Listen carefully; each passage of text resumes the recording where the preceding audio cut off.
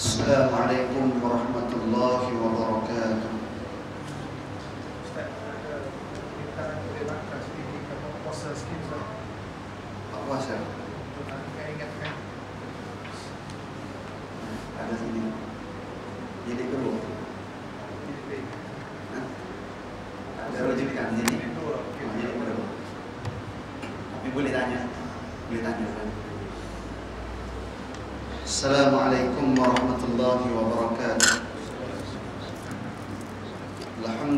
لله الذي أنعم علينا بنعمة الإسلام والإيمان. أشهد أن لا إله إلا الله وحده لا شريك له. أشهد أن سيدنا محمدا عبده ورسوله. اللهم صل وسلم على حبيبنا وشفيعنا وقدوتنا محمد. إمام المتقين وقائد الدعاة المجاهدين. وعلى آله وأصحابه ومن اهتدى بهديه واستنى بسنته إلى يوم الدين. قال رب اشرح لي صدري ويسر لي أمري. واحلل عقدة من لساني يفقه قولي. اللهم افتح علينا فتوح العارفين. وارزقنا فهم النبيين وإلهام الملائكة المقربين. في عافية برحمتك يا أرحم الراحمين. اللهم لا سهل إلا ما جعلته سهلا. رب يسر ولا تعسر. رب تمم بالخير. ولا حول ولا قوة إلا بالله العلي العظيم. ثم أما بعد. Sekali yang dimuliakan Pengurusi Fadil Tuan Imam Bilal dan seluruh sof kepimpinan surau Seterusnya muslimin dan muslimat Yang dirahmati Allah sekalian. Alhamdulillah Marilah sama-sama kita Merafakkan setinggi-tinggi kesyukuran kita kepada Allah Subhanahu wa taala kerana dengan taufik serta hidayah Allah Subhanahu wa taala kita masih lagi diberi peluang Allah Subhanahu wa taala. Sehingga sampai saat dan ketika ini kita dipanjangkan umur diberi kesihatan dan kelapangan masa. Dan pada malam ini kita dipilih oleh Allah Subhanahu wa taala untuk bersama-sama mengimarahkan surau kita dengan kita rokok dan sujud pada Allah Subhanahu wa taala melalui solat fardu maghrib yang telah disempurnakan dengan cara berjamaah. Dan pada masa yang sama pada malam ini juga kita dapat meneruskan kuliah maghrib bulanan kita. Mudah-mudahan hasil daripada pertemuan ini kita mengharapkan keampunan daripada Allah Subhanahu wa taala. Kita mengharapkan keberkatan dan rahmat daripada Allah Subhanahu wa taala insyaallah. Tuan-tuan muslimin muslimat yang dirahmati Allah sekalian. Insyaallah pada malam ini kita sambung lagi perbincangan kita berkaitan dengan istilah-istilah istilah-istilah fiqh. Pengenalan beberapa istilah-istilah fiqh sambungannya iaitu perkara yang ke-10 iaitu istilah kaitan dengan makruh. Muka surat 27 bagi yang ada rujukan kitab dia tengok muka surat 27 qala al-musannifu rahimahullah subhanahu wa ta'ala wa nafa'ana bi ulumihi fi daraini amin istilah yang ke-10 di dalam kitab-kitab fiqh khususnya di dalam kitab Fiqhul Manhaji ini iaitu makruh. Makruh terbahagi kepada dua bahagian. Bila kita sebut makruh maka dipecahkan kepada dua bahagian. Makruh yang pertama iaitu makruh tahrim. Makruh yang kedua iaitu makruh tanzih. Makruh tanzih. Biasa sebelum ni kita kenal makruh ya. Tapi rupanya makruh ni ada dipecahkan kepada dua sama ada tahrim ataupun tanzih. Tahrim ni haram lah. Dekat dengan haram. Hak, kita faham sebelum ni apa itu haram. Haram hak kita cerita sebelum ini apabila kita hindari diri kita daripada terlibat dengan perkara haram Allah Ta'ala anugerahkan pada kita ganjaran pahala. Terlawan hawa nafsu tak sehingga tak terlibat dengan perkara haram. Allah Ta'ala anugerahkan pada kita perkara dengan sebab tinggal perkara haram itu Allah Ta'ala bagi pahala pada kita dan hindari kita daripada segala dosa makruh makruh kalau kita boleh tinggal Allah Ta'ala juga bagi bagi pahala pada kita kan? kalau kita boleh ha, tinggal Allah Ta'ala bagi pahala tapi kalau kita buat tak bagi apa-apa kan? tapi perbuatan tersebut kan? dikeji oleh Allah Subhanahu Wa Taala dibenci oleh Allah Subhanahu Wa Taala kalau makruh pun begitu dipecahkan perkara ini kepada dua pecahan ha? makruh tahrim makruh yang ha, lebih dekat kepada haram yang kedua makruh tanzih makruh harus ha? makruh harus ni ha? lebih kepada apabila kita buat boleh pahala apabila kita tinggal boleh pahala kita tinggal ha? apabila kita tinggal ha? boleh pahala dapat pahala kita ha? buat kosong tak dapat apa-apa kita tengok. Pun begitu kita tengok rujukan kita. Makruh tahrim yang pertama. Makruh tahrim ialah apa yang dituntut oleh syarak supaya ditinggalkan dengan suatu tuntutan secara putus. Allah Ta'ala tuntut kita tinggal kalau makruh tahrim ni dengan tuntutan secara putus. Yang haram pun putus juga sebelum ini kan ha? kalau haram sebelum ini perkara yang dituntut oleh syarak oleh Allah Ta'ala supaya ditinggalkan dengan tuntutan secara putus juga. Eh dekat sama tu. Memang dekat-dekat hampir sama tapi tak sama. Hampir sama. Tetapi tuntutan tersebut tahapnya kurang daripada tuntutan meninggalkan yang haram. Oh, bila bawah sikit je daripada ha, perkara haram bawah sikit tak sampai pada perkara haram yang betul-betul haram. Ha? cuma tuntutan daripada Allah Ta'ala supaya kita tinggal dengan tuntutan secara putus juga. Lebar tuntutan tadi tak sampai lebar haram bawah sikit daripada haram. Contoh saya cerita lepas ni. Maknanya dekat-dekat dengan haram tu. Makruh apa? makruh tahrim ha. Diberikan pahala jika ditinggalkan semata-mata kerana mematuhi arahan Allah.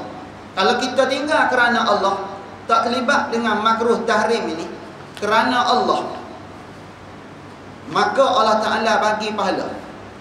Dalam kaedah penampilan muslim mukmin ha, seperti mana kita sebagai seorang hamba Allah kita buat perintah Allah kerana Allah tinggal larangan Allah juga kerana kerana Allah jangan kerana benda lain dua-dua kerana Allah buat perintah Allah, tunai perintah Allah, laksana perintah Allah kerana Allah. Tinggal larangan Allah, jangan kerana musibah yang menimpa kita. Tinggal larangan Allah, jangan kerana penyakit yang menimpa kita, bala bencana menimpa kita. Tinggal juga kerana kerana Allah sebab itu larangan larangan Allah. Sebab tu dalam bab taubat salah satu rukun taubat menyesal menyesal terhadap kesalahan-kesalahan dosa yang telah kita lakukan. Menyesal tadi bukan kerana dosa tu. Menyesal tu bukan kerana kita dah terlanjur. Menyesal tu bukan kerana musibah menimpa kita. Menyesal kerana Allah dengan sebab kita telah terlanjur langgar hukum. Langgar larangan Allah. Dah buat larangan Allah sehingga kita berdosa. Menyesal tu dengan kerana kerana Allah Subhanahu Wa Taala. Barulah yang kita buat dapat ganjaran daripada Allah. Yang kita tinggal larangan Allah pun dengan sebab kerana Allah kita tinggal larangan tersebut juga dapat pahala daripada Allah. Sebab kunci dia lillahi lillahi ta'ala. Kunci. Kalau buat kerana benda lain kalau buat kerana manusia buat kerana pangkat buat kerana darjat yang sementara ni dapat yang tu ialah reda Allah dapat tak? tak dapat kita dapat yang kita cari kalau ha? barang siapa yang buat lillahi ta'ala maka dia dapat redha Allah dia dapat ha? keberkatan daripada Allah Barang siapa yang buat kerana manusia, dia dapat reda manusia. Reda manusia.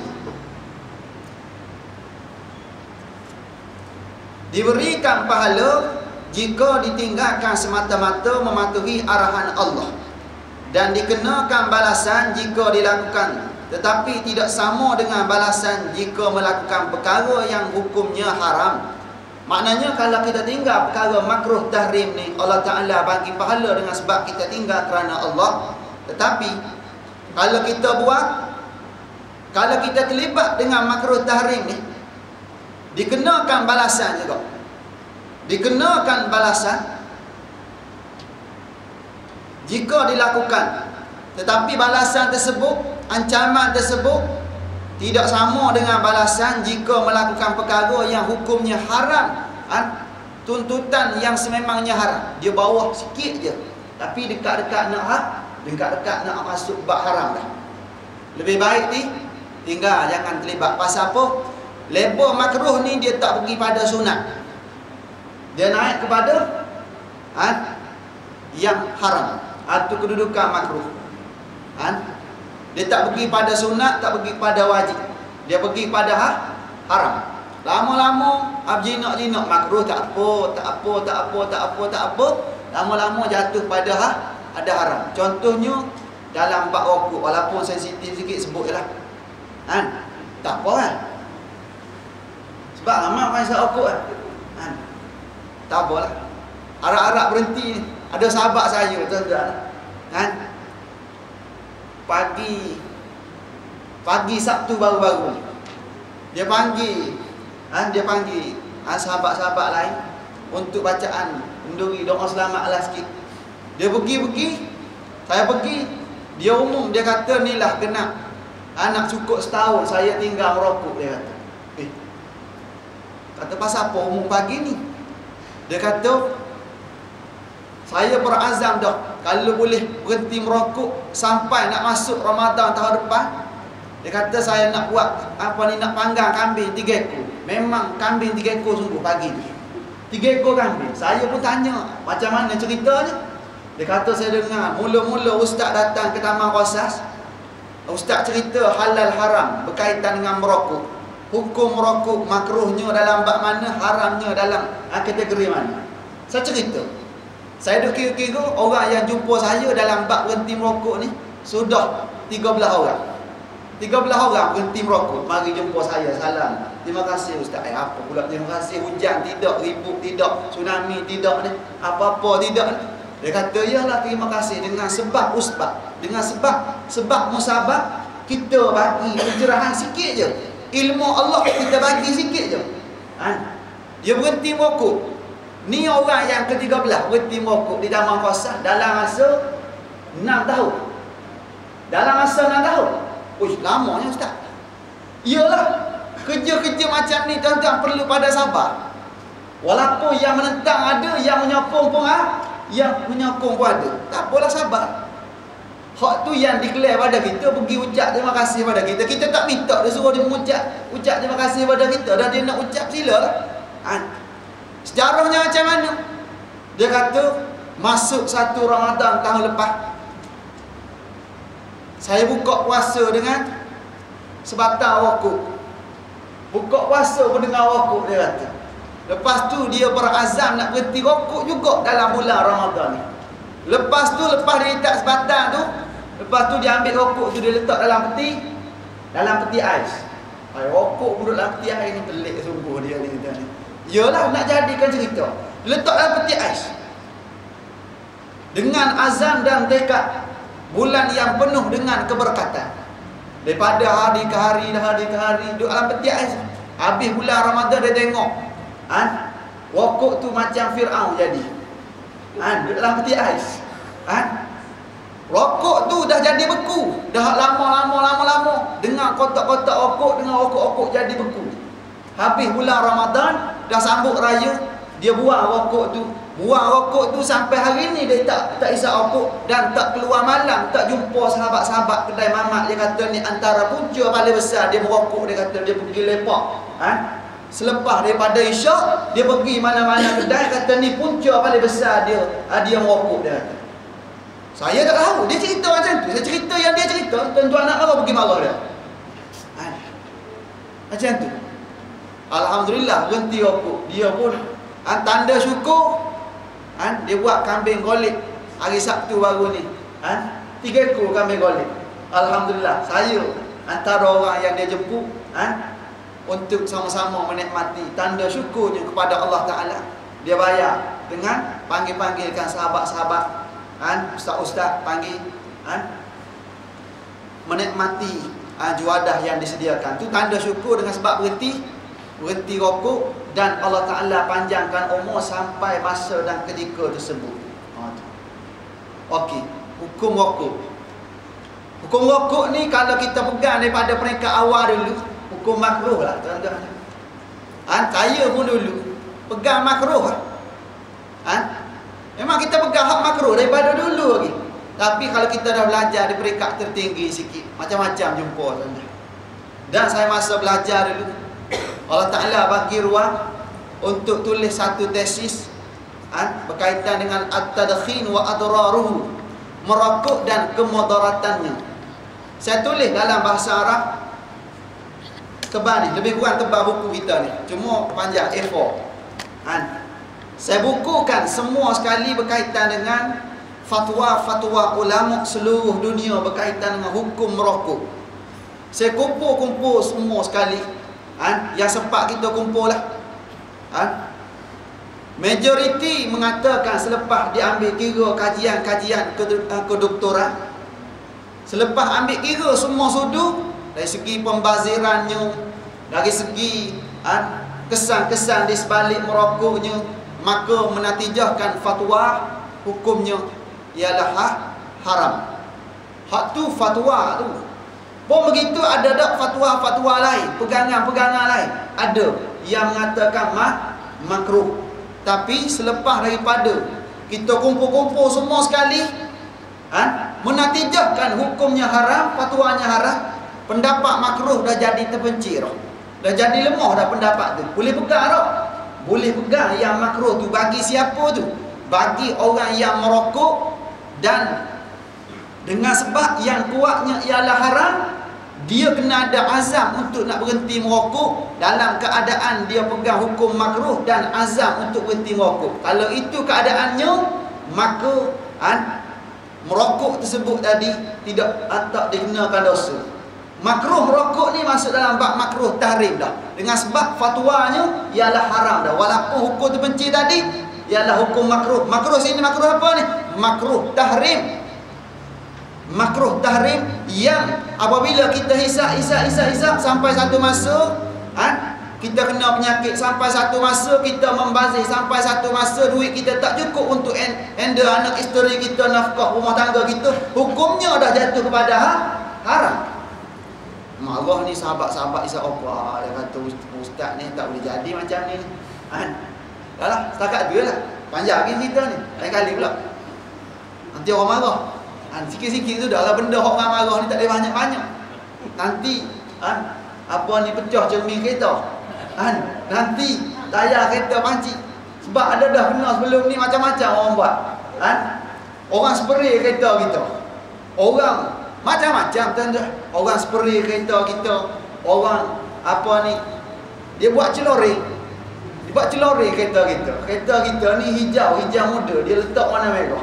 Kalau hijau ni masuk dengan putih sepatutnya. Tapi dia bagi merah. Tak apalah terima lah merah pun merah. Kan? Lepas tu ada. Kan? Nak tunjuk respon. Kan? Ada juga dia pergi simbah hasil kat kereta kita. Tak apalah. Alhamdulillah. Kan? Tak apalah. Tapi Allah Ta'ala dah ganti hal lain dah. Kan? Dia, dia ganti cat lain lah. Cat lain. Kan? Ada ada hamba Allah kata Ustaz. Serabut tengok uh, kereta Ustaz ni kata ambil duit ni. Kan? Ambil duit ni pergi cat baru lah. Alhamdulillah kata. Kan? Hmm. Maknanya kalau orang buat pula, ada lagi orang nak bagi kot. Kemungkinan. Kan? Dia kata serabut kepala main tengok. Menggerutu macam belakang biawak. Buat malu je dia kata. Dalam sekali ambil duit ni 1500 pergi cat lah. Ha. Alhamdulillah dah okey macam kereta baru balik. Tak apalah. Okey tengok. Maknanya tinggal perkara makruh ni boleh pahala buah-buahnya tuan-tuan. Lebih-lebih lagi makruh ni makruh tahrim. Makruh yang penghujungnya menjerumuhkan kita kekal dengan perkara haram. Sebab dia sikit lagi dah nak terlibat dengan perkara yang ha, yang haram. Lebih-lebih lagi nak masuk bulan Ramadan ni, jangan buat benda makruh. Yang haram, ha? jangan sekali. Yang makruh, ha? kalau boleh, kalau bulan biasa kita buat, bulan Ramadan ni kena ada tekad nak tinggal. Kena ada tekad nak tinggal. Ha? Bulan Ramadan. Tak lama orang kita ni, hari ni dah berapa Syakban ni? 18. 19. Ha? 19. Sebelah lagi lagi nak Allah Akbar dekat sangat dah tuan-tuan eh. Tu dia. Alhamdulillah Allahumma ballighna Ramadan. Kita minta dengan Allah Subhanahu Wa Taala. Tapi ha, kena pastikan persiapan kita cukup. Tadi doktor kata ustaz sentuh sikitlah bab puasa ni. Ha, nak baca kitab pun ha, jilid dalam bab puasa ni duduk dalam jilid yang kedua. Ha, yang pasti kalau tuan-tuan tengok dalam kitab ha, yang dikarang oleh ha, Salah seorang daripada pensyarah ha, di Al-Azhar dia tulis ha, Mada qabla Ramadan Bagaimana kamu sebelum Ramadan Bagaimana sepatutnya kita ni sebelum Ramadan ha? Susunan-susunan beliau itu antara yang paling penting Selain daripada kesihatan tu badan kita ha, Persiapan dari segi wang ringgit kita Persiapan lain-lain lah Antara yang paling penting Yang paling banyak huraiannya ha, Persiapan berkaitan dengan ha, ilmu ilmu berkaitan dengan hukum hakam dalam bab puasa tersebut. Bagaimana nak pastikan puasa kita sah dan pada pada masa yang sama sah tersebut ada sah zahir, ada sah batin, dua-dua sah. Kita nak zahir dan bat, zahir dan batin. Ada orang sah zahir saja. Ramai ni. Siapa kata ramai? Nabi kata ramai orang yang sah puasa pada hukum zahir. Nabi kata macam mana? Nabi kata kam min sa'im laisa lahu min siyamihi illa al-ju' wal 'atash ramai sungguh orang yang berpuasa ramai sungguh bukan sikit-sikit orang ramai yang berpuasa tapi tak dapat apa pun daripada puasanya kecuali dapat dapat lapar dan dahaga pasal apa jadi macam tu pasal dia faham puasa ni hanya tak makan tak minum dan tidak melakukan perkara-perkara membatalkan tak tak tak melakukan perkara-perkara membatalkan puasa. Memang sah pada hukum zahir, tapi secara hakikatnya nilai puasa kita ha, kadang-kadang diambil kira oleh Allah Taala bila mana kita berpuasa jangan puasa dalam bab zahir saja. Yang batin pun kena puasa juga. Walaupun dia tak batal puasa, tapi dia membatalkan pahala pahala puasa kita. Kadang-kadang kita puasa daripada tak makan tak minum lah tak masukkan satu-satu perkara membatalkan puasa di dalam rongga terbuka dah. Tak masuk dah. Tak terlibat dah dengan perkara tersebut. Tiba-tiba lidah kita bercakap mengumpat orang. Batal tak puasa? Tak batal puasa mengumpat orang. Kan? Kita fitnah orang. Batal tak puasa? Tak batal puasa. Lihat aurat. Lihat. Ha, batal tak puasa? Tak batal puasa. Kan? Semua tu tak batal puasa. Tapi ia membatalkan pahala puasa kita daripada ha, daripada kita makan sahur sampailah kita nak buka puasa ni. Ha, kalau terdedah dengan perkara-perkara maksiat macam ni, puasa kita mula mula-mula gemuk. Potong satu, satu, satu, satu, satu, satu, satu. Lalas sekali, kemuncak dia pergi bazar Ramadan. Kemuncak tu. Lepas asal pergi bazar Ramadan. Ha, tu kemuncak. Dah lah hak lemah Sikit dah tinggal tu Pergi bazar Ramadan pula Tengok ikan bakar Tengok ayam bakar ha? Tengok juru jual macam-macam ada Lebih-lebih lagi hak jual Haji ni jenis bakar Di pasar panah ha? Bila panah tuan-tuan Dia nak jadi macam ayam juga Ayam tu telanjang Dia pun nak telanjang juga. Lala sekali. Dia punya ha? Kita pun kena juga. Dia dedah angrat Dengan sebab benda tu berlaku depan kita Kita pun tengok maka ha, dia dapat ha, semangkuk kita dapat semangkuk. Share dia. Buat balik buka puasa. Ha. lala sekali balik kat rumah puasa kita jadi macam macam lidi lah. Macam lidi roh puasa dah tak ada pada kita ha, tu kita takut atas sebab tu ha, kena perinci kan ha, perkara-perkara ni jangan puasa pada zahir puasa juga pada pada batinnya juga. Benda-benda tak batal puasa pun dalam bab-bab melibatkan dosa, pastikan usaha dan ikhtiarlah jangan sampai terlibat dengan perkara tersebut. Kenapa? Ia mengurangkan pahala puasa kita. Ha? Menjadikan kita dapat lapar dan dahaga. Nilai takwa kita ha? Tak ada. Habis bulan Ramadan, habis kan gitu je. Ha? Puasa orang gitu. Pasal apa? Pasal Walaupun bulan Ramadan yang disuruh pun kita buat, yang dilarang pun jalan sekali. Jadi tak? Tak jadi. Nilai takwa tak dapat kita. Mari Ramadan tahun depan pula sama sama juga. Itulah rutinnya. Rugilah kita sebenarnya. Okey balik balik pada bahasan asal. Makruh yang martabatnya hampir sama dengan haram. Ha ni makruh tahrim ni makruh yang martabatnya hampir sama dengan yang haram. Maknanya pastikan kita jangan terlibatlah. Jangan terlibat ha, dengan makruh tahrim ini. Contoh Contoh sembahyang sunat mutlak ketika terbit atau ketika terbenam matahari. Sembahyang sunat ini dihukum dengan makruh tahrim. Sembahyang selepas subuh.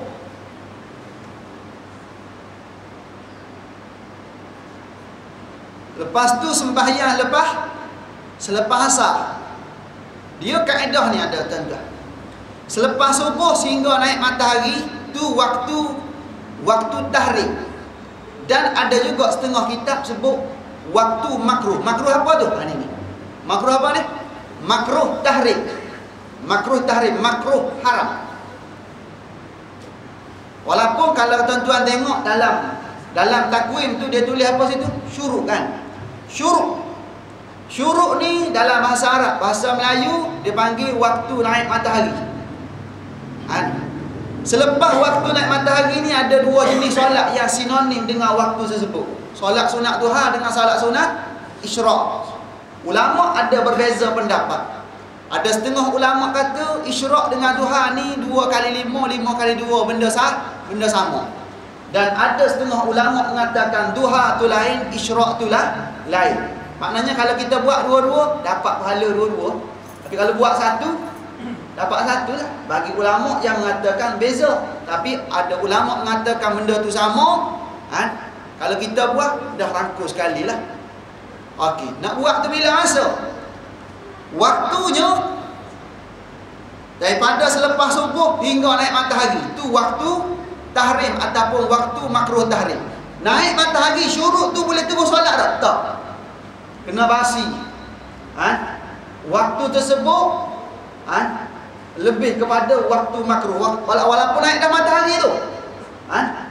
kena basi untuk solat sunat isyraq berapa lama tu dalam lebih kurang 15 ke 20 minit untuk solat sunat isyraq bagi yang nak solat sunat isyraq basi lepas tu daripada solat sunat isyraq tadi ha? contohnya kalau nisbah pada hari ni syuruk tu apa syuruk pukul 7 tak nampak mana. 6 minit. Pukul 7 6 minit di situ rasanya. Betul lah? Pukul 7 6 minit. Kita basi. Pukul 7 setengah boleh sembahyang sunat isyraq. Lepas tu nak sembahyang sunat duha paling awal. Paling awal untuk solat sunat duha bila masuk? Basi lagi dalam lebih kurang 25 minit ke setengah jam. Tu paling paling awal. Tujuh setengah pukul 8 paling awal untuk solat sunat duha tapi yang afdah berlalu satu berlalu satu perempat siang berlalu satu perempat siang hari pukul apa tu? dalam lebih kurang pukul 9 pagi pukul um, 9 setengah lebih kurang dalam mazhab syafi'i daripada pukul 8 tadi tu awal dia afdal. Pukul 9 9 setengah pukul 10 tu waktu afdal. Biasa standard ada buat. Berakhir bila tu? berakhirnya waktu duha dalam mazhab syafi'i sehingga waktu zuhur. Waktu zuhur tadi ada waktu istiwa kan? Waktu istiwa. Waktu matahari duduk atas kepala kita. Sebelum masuk waktu zuhur tuan-tuan kena basi lagi. Maknanya ambil waktu istiwa tu dalam lebih kurang 10 minit ataupun 15 15 minit maknanya sebelum masuk waktu zuhur 15 minit maka habislah waktu tu duha dalam mazhab dalam mazhab Syafi'i. Eh, manja lagi tu Ustaz, boleh buat tu. Yalah, benda ni memang ruang tu luas pada kita. Tapi boleh buat tak? Wallahu a'lam. Tepuk dada tanya iman. Tuan-tuan. Susah tu nak buat tu kalau kalau ah, tak betul-betul jaga tu memang tak boleh buat ni benda macam ni. Walaupun eh dua rakaat pun susah ke? Iyalah. Ha, susah kan? Ha? Bangun tengok bola senang. Tengok bola. Bangun tengok bola senang ustaz. Nak bangun tolak tu nak tahajud susah. Tengok kita. Sebab tu kita hari ni zaman musim ni musim bola ni. Dalam bulan Ramadan ni masuk awal Ramadan tu pusingan kedua. Betul tak? Betul tak ni? Tengok tak? Tengok saya pun tengok-tengok gitu lah. Minat tu ada sebenarnya. Han, tapi Allah, dia fikir-fikir balik Allah. Han? Kalau kita ganti waktu tersebut untuk qiyamul hebat kita tuan Sebagai standby untuk nak masuk bulan bulan Ramadan. Masuk bulan Ramadan memang hebat kita. Han, kalau kita mula awal Maknanya boleh tengok bola tak ada masalah. Hukum asal al-aslu fi syai' al-ibahah asal setiap satu-satu perkara ialah harus. Maka tengok wala pun hukumnya harus. Selagi mana tidak ada perkara-perkara lain yang baru tiba. Tengok. Nak tengok tengok. Lepas tu kadang-kadang dia jadi makruh. Bila mana makruh? Kalau dengan sebab tengok bola kalau sebelum ni kita boleh jemaah subuh di masjid dengan sebab bangun tengok bola, kita dah syahid di rumah. Sembahyang subuh tapi di di rumah. Hukum tengok bola ketika tu dah jadi mah makruh dengan sebab kita luput solat subuh berjemaah di masjid. Apa? Makruh tengok bola. Satu lagi hukum makruh sesuai dengan waktu tersebut. Waktu satu per tiga akhir malam ni ialah waktu yang paling afdal untuk kita munajat pada Allah untuk kita qiyamul lail sehingga Allah Taala rakam khusus dalam Quran wa minal laili fatahajjat bihi nafilatan lak. Asa an yab'asaka rabbuka maqaman mahmuda. Allah Taala nyatakan dan ambillah daripada separuh waktu malam itu untuk kamu bertahajud sebagai satu ibadah tambahan. Ibadah nafilah. Ibadah sunat tambahan untuk kita munajat pada Allah bertahajud bertaubat ber, apa saja. Baca Quran ha? apa saja bentuk ibadah pada Allah Ta'ala. Bila masa tu? Satu per tiga akhir akhir malam. Lebih kurang pukul tiga pukul empat. Ha? lebih kurang. Ha? makruh tadi ni ni makruh ni. Ni bukan makruh tahrim ni. Ni makruh tanzih masuk dalam ni. Yang subuh tadi tu ha, dia masuk dalam bab makruh. Ha, tanzih juga. Ha, makruh ada lagi. Tapi kalau sampai satu tahap ha, kita sebelum ni sembahyang subuh jemaah di masjid tapi tengok-tengok dalam sekali dekat-dekat nak habis waktu kita nak habis waktu subuh baru sembahyang kita. Maka perbuatan kita tadi dah hukum tengok bola dah jadi makruh tahrim dah. Dekat-dekat nak masuk waktu. Habis pagi salam assalamualaikum assalamualaikum tengok-tengok syuruk dah makruh tahrim kita dekat sekat nak masuk haram. Ketika ni okey. Dalam masalah ni juga bila bertembung waktu afdal kita qiyamul lail munajat pada Allah tiba-tiba waktu sebut ada ada tengok tengok bola. Bertembung tu. Afdal qiyamul lail afdal menghidupkan malam dengan pada masa sama masa tu juga pukul 3 tengok bola An, sedangkan nilai dia mula ni hebat. Asa an yab'asaka rabbuka maqaman mahmuda. Allah Taala nak angkat darjatnya kepada makam yang terpuji. Sebab tu orang-orang yang soleh jadi ha, benda kebiasaan dak bersalihin bagi orang-orang yang soleh qiyamul lail. Tiba-tiba kita bangun tengok bola. Tak boleh buat. Qiyamul lail walaupun dua rakaat tak boleh buat tahajud walaupun dua rakaat. Maka hukum tengok bola juga hukumnya makruh. Bila mana benda sunat yang paling afdal dalam masalah ibadah sunat ha? kita bertembung pada waktu tersebut kita tak ambil peluang kita ambil benda lain. Ha? kita buat dalam keadaan mensia-siakan umur kita. Buat benda harum ni sia-sia sia-sia umur umur berlalu tak masa tu? Umur kita berlalu kita tengok ha? benda yang sia-sia maka hukumnya makruh ketika itu. Satu lagi, hukumnya haram tak? Haram tengok bola bila masa. Kalau dengan sebab tengok bola, kita solat subuh melepasi waktu sempadan sebenar. Lepas daripada waktu subuh. Kalau sebelum ni bukan kata semayang subuh di, berjemaah di masjid. Ha? Kita awal lagi boleh pergi masjid. Siap tak sampai, kita sampai dah. Hebatnya. Tapi masuk musim bola ni, ha? Dah lah tak pergi semayang di masjid. Kat rumah pun pukul tujuh setengah dia semayang.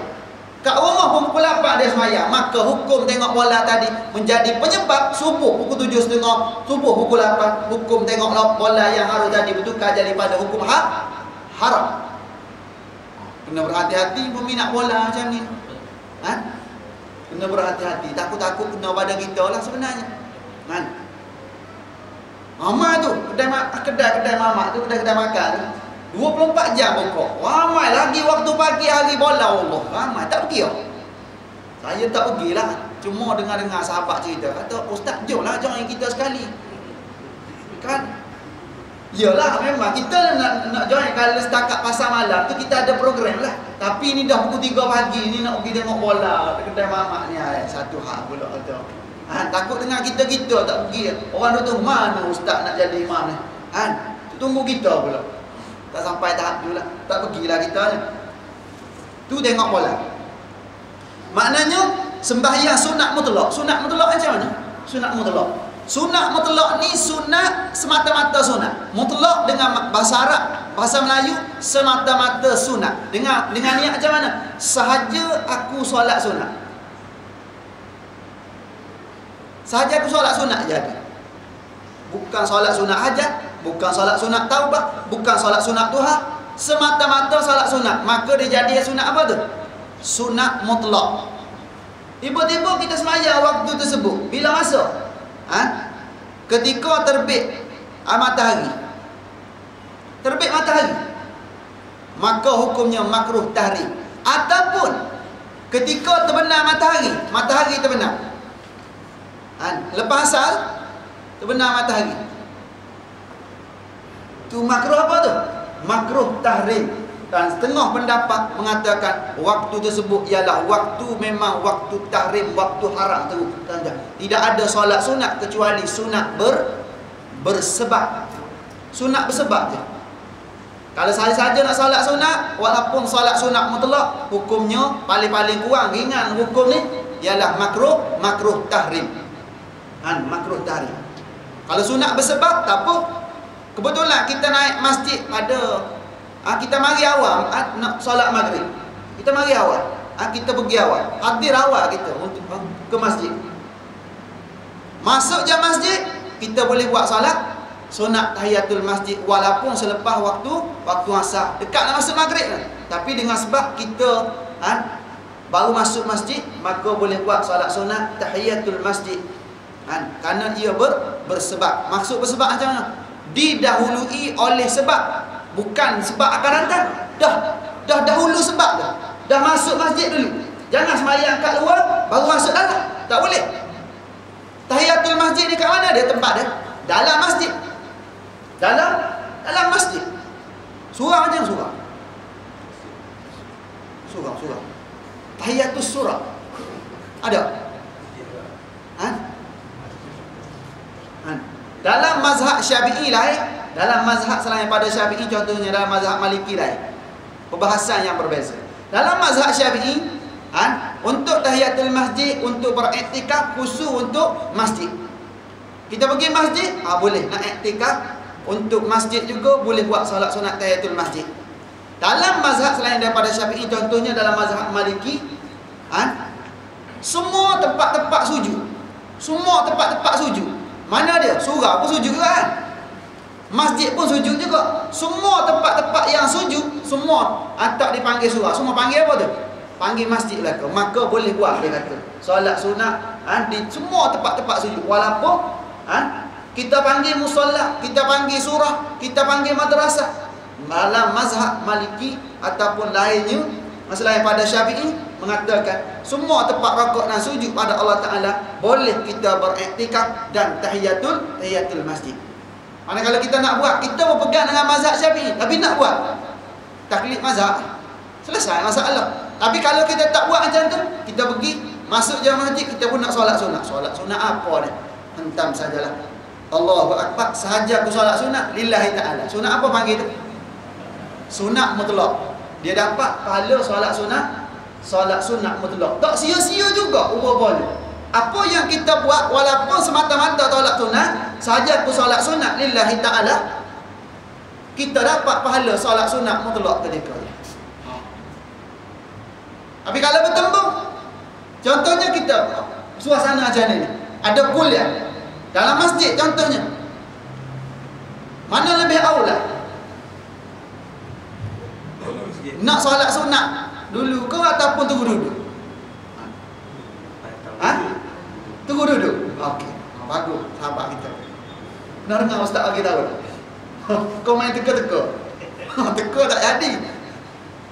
Ha? Tuan-tuan boleh rujuk dalam kitab Bidayatul Hidayah. Ha? Ada perkara ni diceritakan oleh Al-Imam Hujjatul Islam Abu Hamid Al-Ghazali. Lagi segi sudut afdalnya kata Imam Ghazali, bila mana bertembung majlis ilmu dengan solat sunat. Walaupun masa tu kita baru naik masjid. Nak duduk terus bagi perhatian pada majlis ilmu ataupun kita solat sunat dua rakaat dulu. Kata Imam Ghazali, lebih aula kita tunggu duduk dan bagi perhatian kepada majlis ilmu lebih aula. Dan kata Imam Ghazali lagi, cukup dan memadai kita apabila kita duduk kita ucap subhanallah walhamdulillah wala ilaha illallah wallahu akbar tiga kali ataupun empat empat kali kata Imam Ghazali ada syok perawi sikit. Ha. Maknanya hak mana tu? Mana? Tunggu duduk lebih aula. Tapi berlaku ni macam-macam tu. Kat masjid besar-besar. Lagi besar masjid lagi hebat. Kan? Oh ni macam ni, oh ni macam ni. Tak apalah. Kan? Kata hak tu abdul. Saya tak nak hak abdul ustaz. Nak hak, hak kurang abdul. Apalah nak ambil. Dia nak hak lemah. Kita dah bagi tahu abdul. Dia nak hak lemah juga. Tak apa. Seterusnya. Tu contohlah makruh tanzih makruh harus makruh tanzih ialah apa yang dituntut oleh syarak supaya ditinggalkan dengan suatu tuntutan secara tidak putus kalau tadi makruh tahrim tuntutan secara putus secara jazim yang ni pula makruh tanzih makruh harus apa yang dituntut oleh Allah Ta'ala oleh syarak supaya ditinggalkan. Allah Ta'ala suruh kita tinggal. Tapi tuntutan tersebut suatu tuntutan secara tidak putus suruh tinggal tapi tuntutan tu ada pelonggaran tak putus. Ha? diberi pahala apabila ditinggalkan kerana mematuhi arahan Allah. Kalau kita tak terlibat dengan makruh tanzih ni Allah Ta'ala bagi pahala pada kita dengan sebab kita patuh pada arahan Allah dan di, dan tidak dikenakan balasan azab jika dilakukan. Kalau kita buat tak kena azab apa-apa. Kalau yang tahrim tadi makruh tahrim tadi, kalau kita terlibat kita kena azab tapi azab tadi tidak sama dengan azab ha, yang haram. Yang ni tidak ada azab. Makruh biasa dia panggil makruh, makruh harus. Tapi walaupun begitu, oh, tak apa ustaz makruh je orang kita kan. Kan? Walaupun makruh Ha? Walaupun tak dapat apa-apa ha? Walaupun kalau kita kalau kita buat Kalau makruh tanzih, eh, tanzih ni Allah Ta'ala tak bagi dosa pada kita Tapi Kita telah mensia-siakan umur kita Kita dah dapat kebencian Allah Ta'ala Allah Ta'ala ha? Tak suka perbuatan tersebut Pak ha? Allah Ta'ala dah tuntut Tapi tuntutan tadi ada pelanggaran sikit Ada lah sikit tu ha? Eloknya ha? kita jangan terlibat perkara tersebut. Contoh ada depan. Berpuasa pada hari Arafah bagi jemaah haji. Contoh dalam ni, pani kita buat contoh sendiri pula. Berpuasa pada hari Arafah bagi jemaah haji. Sedangkan bagi jemaah haji ni tak sunat sebenarnya. Tak sunat dia berpuasa pada hari Arafah. Yang sunat puasa hari Arafah ni siapa? Kita yang tak mengerjakan haji duduk di tanah air kita tak terlibat dengan mengerjakan haji sunat dah sunat kita puasa pada hari hari Arafah. Hari Arafah ni hari ke berapa? Hari ke-9 Zulhijjah. Hari ke-9 Zulhijjah. 10 tu hari nahar. Hari 9 Zulhijjah tu sunat kita puasa. Sahabat-sahabat kita di ada di Mekah sana ha, sedang berwukuf di Arafah. Kita sini siapa? Ha? Dengan sebab kita tak ada dalam suasana tersebut, ha?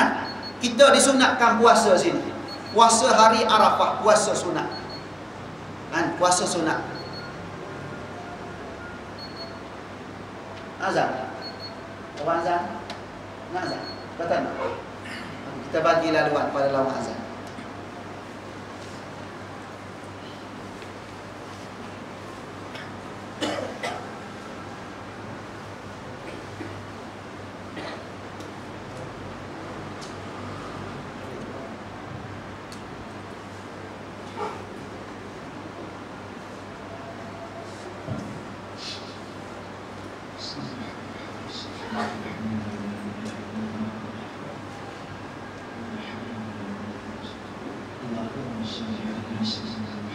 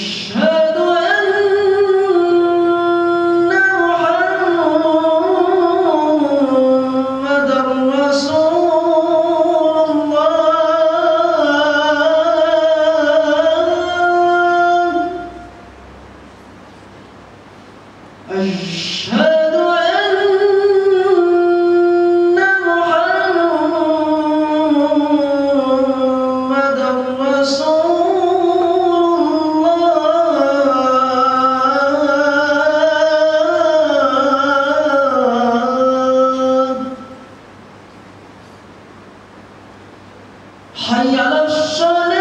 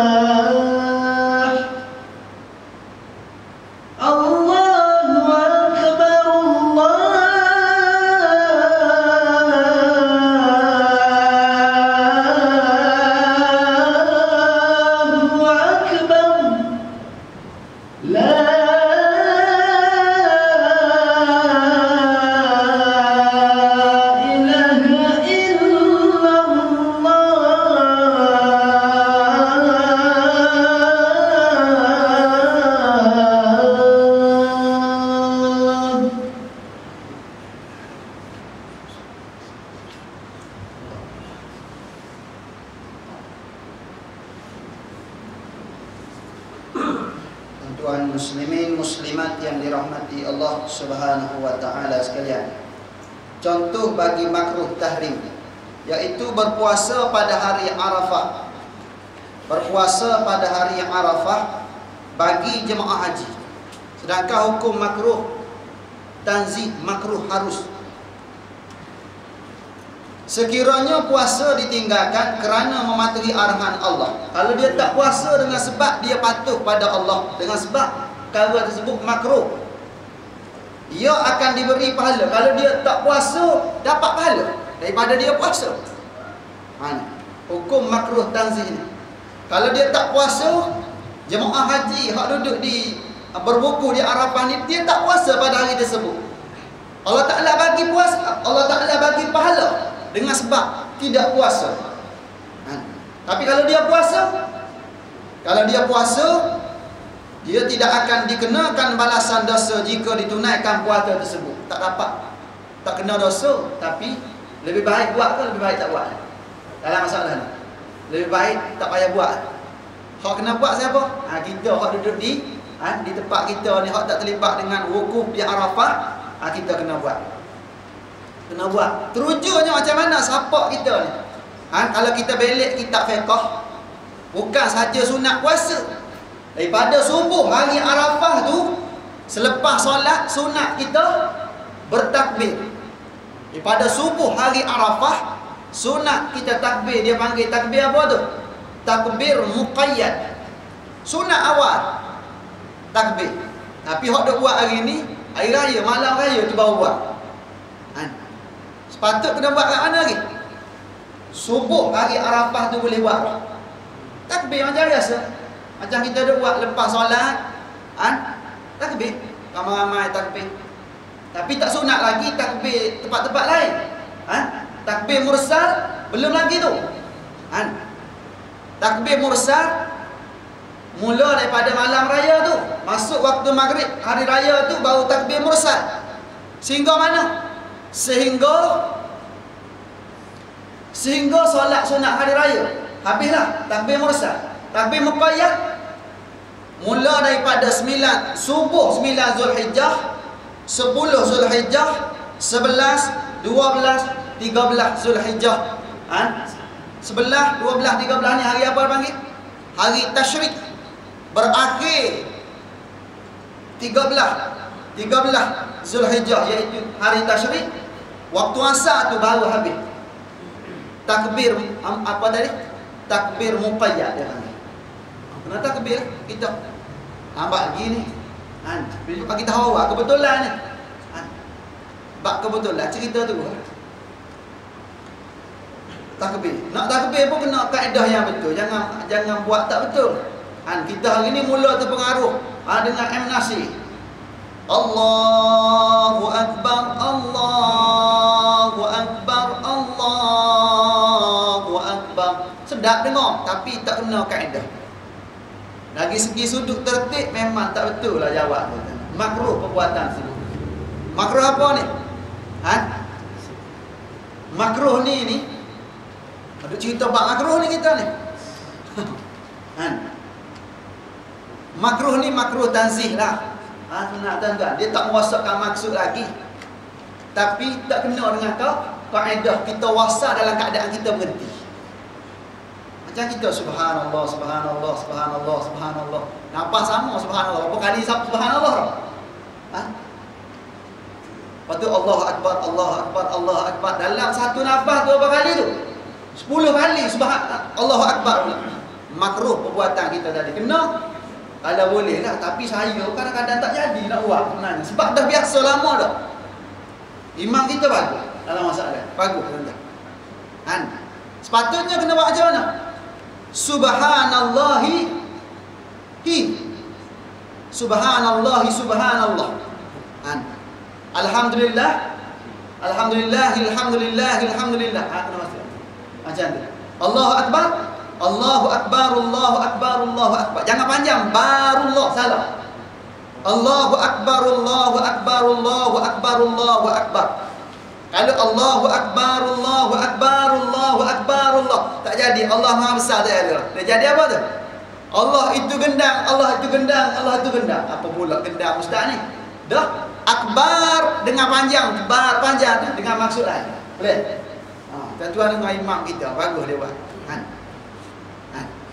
Sama takbir, takbir pasal hari raya. Ni tak lama nak raya lah kita ni tunggu. Ha, tunggu dalam lebih kurang sebelah hari lagi kita puasa sebulan. Lepas tu Ha, takbir ni bunyilah di masjid, di surga, dalam TV, dalam astro bunyi belakang. Ha?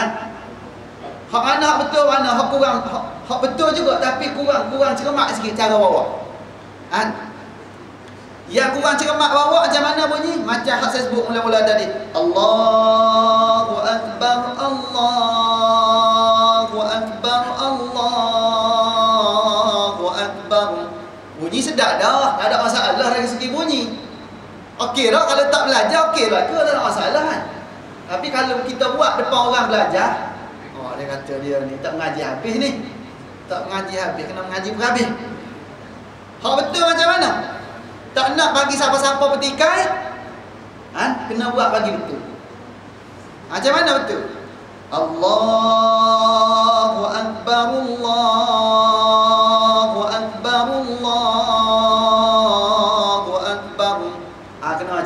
Ru ru ru ru sebab kita nak wasal. Kalau nak berhenti boleh. Macam mana berhenti? Allahu Akbar. Allahu Akbar. Allahu Akbar. Ah kena berhenti sungguh. Jangan berhenti olok-olok. Ni berhenti olok-olok. Tak jadi.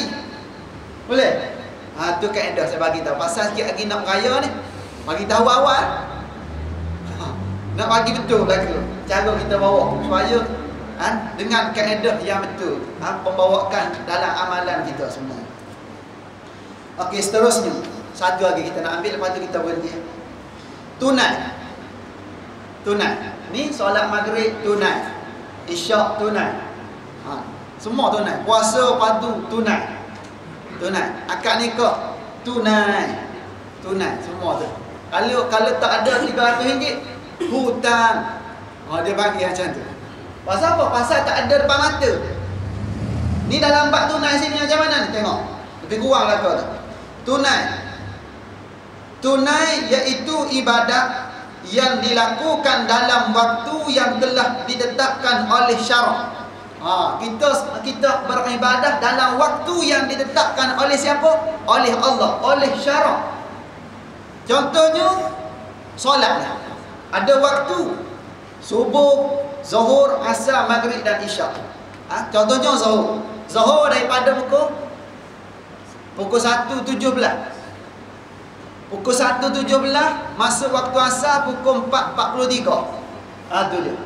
Ruangan solat waktu zuhur daripada pukul 1.17 sampai pukul 4.43. Tu dia panggil tu tunai. Kalau kita solat zuhur tadi dalam waktu tersebut paling-paling kurang satu rakaat dalam waktu paling kurang. Nak dapat tunai ni. Macam mana ni ustaz satu rakaat dalam waktu? Eloknya empat-empat rakaat. Eloknya awal-awal waktu. Tapi paling-paling kurang. Kalaulah terdesak sangat. Kalaulah apa masalah menimpa kita paling kurang satu rakaat dalam dalam waktu. Macam mana tu? Dekat-dekat nak masuk waktu asar. Dekat-dekat nak masuk waktu asar tu kita pergi Allahu Akbar. Solat, solat, solat. Habis satu rakaat kita bangkit rakaat kedua. Orang pun azan. Orang azan apa tu? Azan asar. Kita jadi kotor ke jadi tunai? Jadi tunai masa tu tanda. Satu rakaat dalam waktu dikira tunai solat kita ketika itu. Tapi perbuatan tersebut hukumnya kalau kita sengaja rancang hukumnya haram perbuatan tersebut tanda. Han. Haram perbuatan. Jangan dia buat macam tu. Han. Kau buat tak? Han. Buat dah nak buat macam mana? Akan datang lah pula je. Han. Akan datang tu cerita lain. Kita buat terbaik lah. Okey. Ya kalau bertempur dengan cara macam ni. Kalau kita semayang nombor seorang-seorang. Kita tak dapat satu rakaat. Tak selesai satu rakaat. Ada orang yang tengah solat sini. Tengah solat sini. Kita masuk masjid, kita masuk surah, ada sahabat ni tengah ha, tengah solat. Tiba-tiba kita masuk belah kat takbir lagi dia pun rokok. Allahu akbar. Kalau kita Allah akbar tunggu rokok, kita dapat satu rakaat tak? Kita dapat satu rakaat walaupun kita tak baca Al-Fatihah. Dengan sebab kita makmum apa tu? Kita makmum masbuk masa tu. Ha? Kalau kita semayang seorang, tak dia ni. Tak boleh. Kok ni dia ni kita kata ni. Ha? Seokok. Ha? Kita kata. Kita pun solat seorang. Sekalipun orang yang memimpin ketika itu ialah orang fasik, lebih aula kita ikut dia lagi ketika itu. Lebih aula kita ikut dia lagi ketika itu. Sekalipun dia baru lepas beratur kedai nombor. Kertas tu ada lagi dalam poket. Sekalipun macam tu. Lebih aula ikut dia lagi daripada solat seorang diri. Dalam keadaan kalau kita nak habis satu rakaat dalam waktu tadi memang tak sempat lebih aula kita ikut sekalipun orang yang kita ikut itu ialah orang yang fa yang fasik pada ketika itu.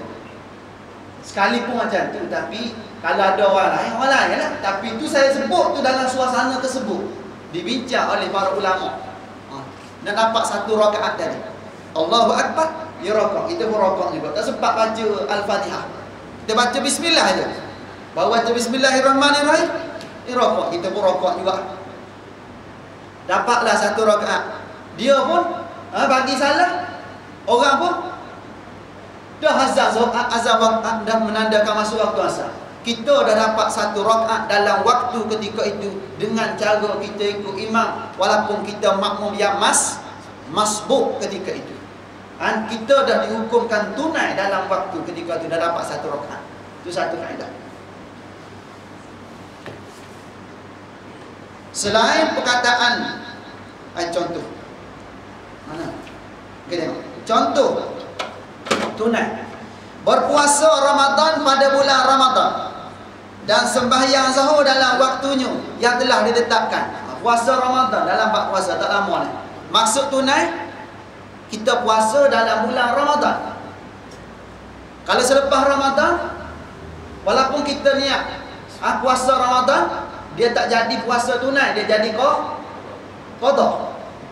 Raya sehari lepas tu kita pun puasa. Puasa apa? Puasa Ramadan dengan maksud ha, tunai dah ketika takkan jadi Ramadan dengan sebab apa? Bukan tempat dia. Sebab tu dia jadi kau qada. Qada ketika tu. Sebab bukan dalam waktu yang sepatutnya. Kena qada lah. Kalau ada ketinggalan, sama ada sengaja ataupun tak sengaja, qada lah. Ha, se, ha, secepat mungkin lah. Ha, rehat sehari je. Hari apa? Hari raya. Hari raya tu. Lepas tu puasa lah. Ha, nak puasa direct pun boleh. Nak puasa selang-seli pun boleh. Ha? Boleh. Qada. Lepas tu, nak puasa 6 hari ha, bulan syawal, apa boleh juga. Tak ada masalah.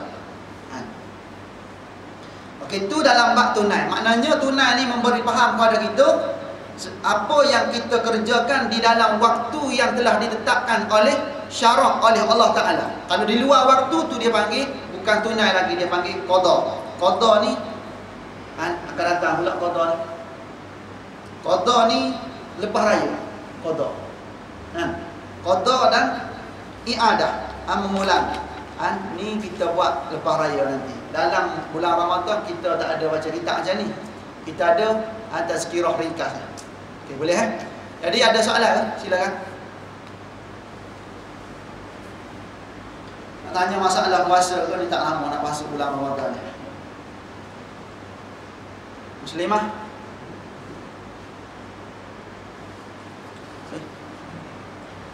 Um, puasa ganti dengan Isnin Khamis ni Ustaz nak boleh sekali dia dapat sekali okey. Puasa ganti puasa qada ganti tu. Kan? Puasa ganti dengan puasa isni kami.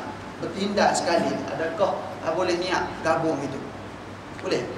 Okey tengok. Benda ni ada khilaf pendapat di kalangan para ulama sebenarnya. Pendapat yang pertama mengatakan kan apabila qada dia tak boleh bercampur dengan siapa-siapa dia. Kata ah, pendapat pertama. Kan qada qada lah Pendapat yang kedua kata Kalaulah kita qada ketika tu Contohnya dalam bulan Dalam bulan syawal lah. Dalam bulan syawal tersebut Kebetulan qada kita tu Ada puasa sunat bulan syawal Yang kita pun tak puasa lagi sunat tersebut. Ada pendapat kedua mengatakan ha, Kita boleh niat juga dengan ha, Dengan niat puasa sunat bulan Bulan syawal. Ha, Sama dengan hak tadi tu. Ha, Itu kiasan Tapi itu pendapat kedua. Eloknya macam mana? Asing Qada qada lah. Solat apa ni? Puasa qada, lepas tu puasa sunat pula lepas. Kan? Dengan kaedah yang mula-mula ni ada pendapat mengatakan menyokong pendapat yang pertama saya sebut tadi yang mengatakan selagi mana ada qada tidak sah ibadah sunat apa ni puasa sunat. Begitu juga apa ni berkaitan dengan solat. Selagi mana ada qada tidak sah solat sunat. Ada pendapat hak ni yang utama. Walaupun ada pendapat kedua mengatakan ha, boleh solat sunat dalam keadaan ada qada. Syarat qada seiring dengan sunat tadi. Qada qada qada lah sunat pun buat juga jalan sekali macam tu. Ha. Jangan sunat saja buat. Qada tak buat. Dalam keadaan kita tahu kita ada solat yang perlu di di qada. Ha, kena buat macam tu. Maknanya puasa pun sama juga macam tu. Maknanya eloknya macam mana? Asinglah. Tapi kalau lah terdesak bolehlah kita berpegang dengan yang ha, yang kedua. Ha. Tapi itu kurang kurang afdal lah dari segi sudut amalan kita. Okay, habis. Jadi sekadar itulah untuk malam ini Moga-moga apa yang kita perbincangkan pada malam ini memberi sedikit pencerahan kepada kita dan apa yang baik itu datang daripada Allah yang kurang kelemahan dan kejahilan saya sendiri mohon maaf dan ampun di atas segala kekurangan dan ketelanjuran سيروا على بركات الله. السلام عليكم ورحمة الله وبركاته.